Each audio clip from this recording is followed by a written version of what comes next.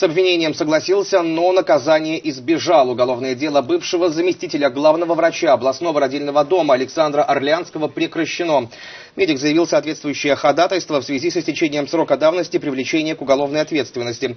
Орлеанский обвинялся в причинении смерти по неосторожности вследствие ненадлежащего исполнения лицом своих профессиональных обязанностей. Два с половиной года назад зам главного врача областного родильного дома экстренно прооперировал 31-летнюю женщину. Позже провел еще два хирургических вмешательства, а через несколько дней пациентка скончалась. Как следует из материалов дела, смерть наступила из-за дефективного оказания медпомощи Александром Орлеанским.